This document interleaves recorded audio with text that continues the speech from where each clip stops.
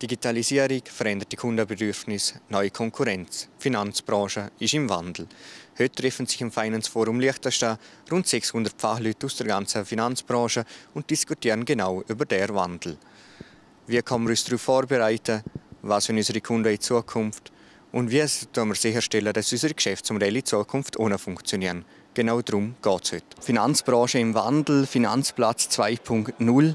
Sie sind Chef einer der grössten liechtensteinischen Banken. Wie bereiten Sie sich auf die dramatischen Veränderungen vor? Ja, wir machen uns intensiv Gedanken, weil das Kundenverhalten sich total ändert. Nur als kleines Beispiel, unsere Transaktionen in der Geschäftsstelle gehen jährlich um über 10% zurück.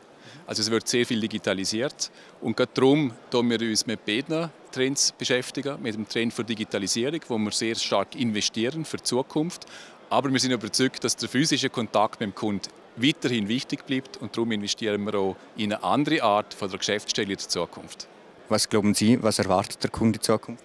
Der Kunde erwartet das, dass er Sachen, die er einfach selber machen kann, vollautomatisiert selber machen kann. Und dort, wo er wirklich eine Beratung braucht, wo er einen Mehrwert erwartet, dort muss genau die Bank den Mehrwert liefern. Wir haben über äh, den EWR den Zugang zum EU-Binnenmarkt zu über 500 Millionen Menschen.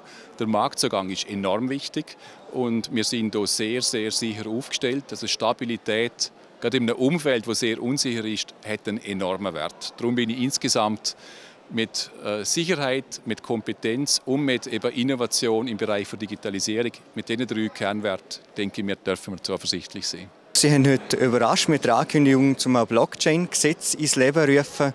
Um was geht es da konkret? Wir haben uns schon längere Zeit mit dem Thema befasst und haben festgestellt, dass vom Marktteilnehmer her der Wunsch da ist, dass man eine gewisse Regulierung schafft.